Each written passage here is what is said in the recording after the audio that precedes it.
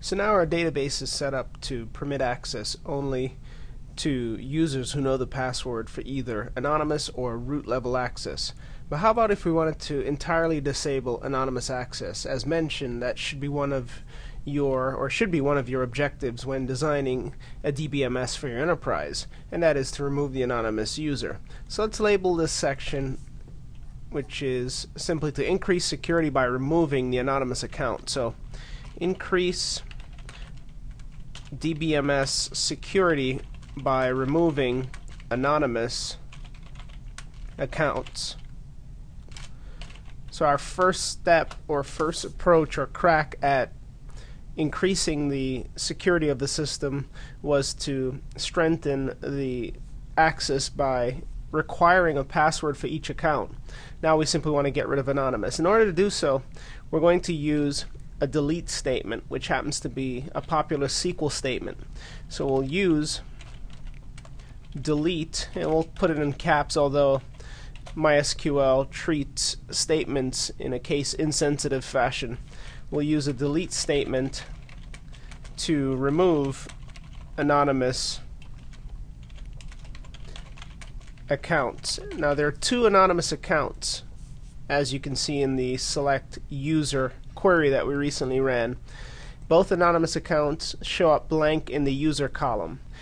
We need to talk a little bit about the MySQL database and its tables with respect to permissions and user account management. But before we do so, let's show you how we'd remove the accounts. We want to run a delete statement and that delete statement will look as follows. Whenever using keywords, you should capitalize them, although it's not a requirement, it's just for readability. Delete from, and you can specify optionally the name of the database followed by a dot or a period followed by the name of the table. This is standard SQL nomenclature or syntax, but you don't need to specify the name of the database. It's optional, but you could if you wanted to in the event that you weren't currently in the context of the database which you intend to perform the operation on. So we'll delete from user where user is equal to, and in this case the user is equal to blank, so we'll simply specify an open eh, followed by a closed single quote to indicate that the user column contains nothing or blank and we'll delete from the user table. So let's go ahead and execute this the, the query and you should see that it's deleted two rows from a four row table.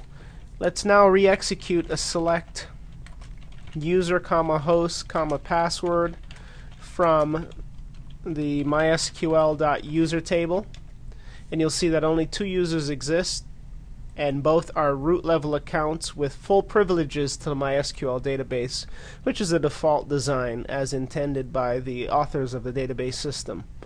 We should confirm that the anonymous accounts have been removed by attempting to connect from the local host as a non-privileged user. That's simple to do, so let's label this section confirm that anonymous accounts have been removed.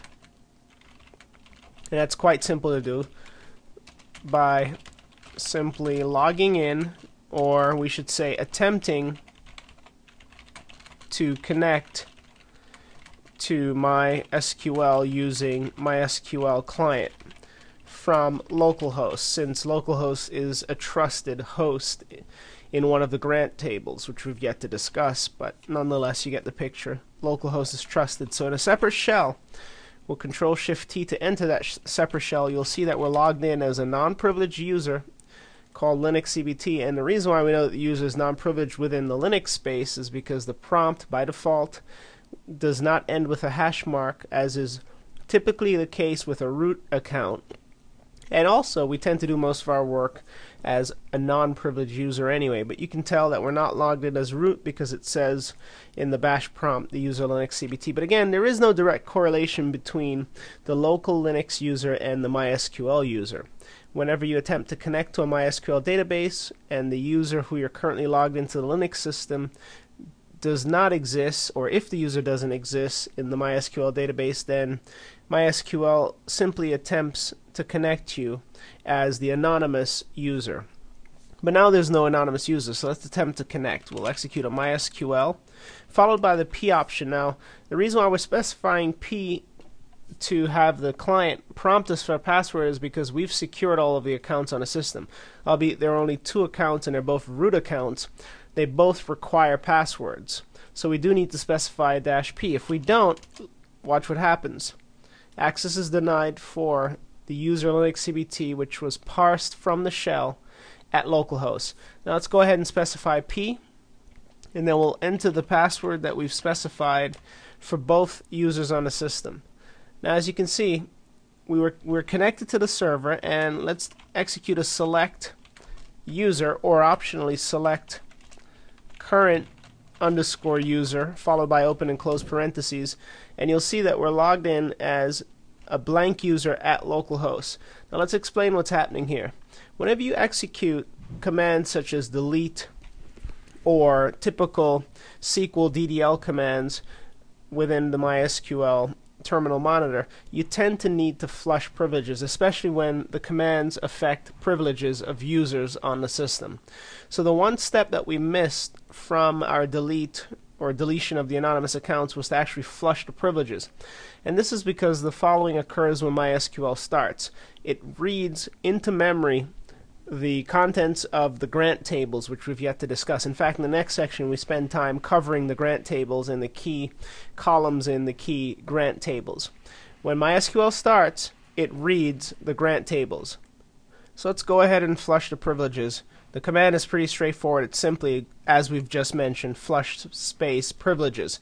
So we'll include a one-liner in our notes which simply says, don't forget to execute in between single quotes, flush privileges. It is case insensitive, but we're specifying upper for readability so that you know when you read it that it means to execute the command. But generally, any commands that you see between single quotes that we specify are commands that are to be executed verbatim. So let's execute flush privileges, and we should terminate the command with a semicolon to instruct the terminal monitor to submit the command to the MySQL daemon. And now the privileges have been flushed, and a separate window will exit the current session. When you flush privileges, by the way, the user isn't logged out automatically. So notice we are logged in as anonymous, but flushing the privileges will not kick the user out of a current terminal monitor. And that's by design in the event that if in case the user is executing a transactional process, which most DBMS processes are, then the process will be permitted to execute so that it doesn't corrupt data. So in other words, the fact that users aren't kicked out of terminal monitor is by design to prevent or reduce the amount of data corruption that can be introduced into the environment. And that's logical because again, the user could be executing a process that runs let's say for 20 minutes or so and any portion of the process that isn't transactional or does not cause a rollback could cause corrupt data or introduce corrupt data into the DBMS. Let's quit the, exec the existing session by using a backslash q and then attempt to connect again by specifying the password. And notice this time we can't get in. We'll try it again and we can't get in because MySQL doesn't recognize the user Linux CBT at localhost and the anonymous account is properly disabled. So two steps are required to delete the default anonymous accounts. They include the following. You execute a delete statement and we've specified the delete statement as follows. We should include in our notes here. So we simply executed delete from mysql.user, which is the name of the database followed by the name of the table. And this is standard SQL notation, which means on the left is the database and following the dot or the period is the name of the table to operate on. So delete from mysql.user where this is our clause which allows us to match only interesting columns or interesting rows that that is on certain columns where user, that's the name of the column, is equal to open single quote, close single quote, and then terminate the line with a semicolon. So this is the command verbatim. Now since we do use single quotes in this particular query, it's a good idea to enclose everything in between double quotes. And you'll find that's a common syntax within a MySQL environment, where on the web in the documentation you'll see heavy usage of double quotes instead of single quotes because single quotes are reserved for internal use in clauses such as like, where, and so on. So delete from user, step one. And step two is to flush privileges. Flush privileges, or flushing the privileges, will allow MySQL, the current running instance of MySQL, to reread the grant tables to determine who is permitted access to the DBMS. Now that the privileges are flushed, the user can no longer log in as the anonymous account. However, if we do specify dash u followed by a root, then the user will be able to log in providing the user knows the password for the root user. Let's try that.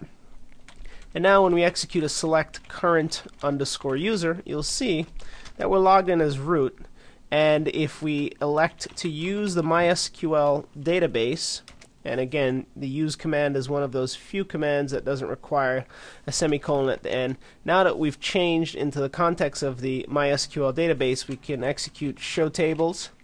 You'll see that there's some key tables, including the grant tables, which we'll discuss in the next section. And then if we execute select user, comma host, comma password, or any combination of these two included columns from the user table, you'll see that the only two users are root at localhost and root at the actual host name Linux CBT DB1 permitted currently.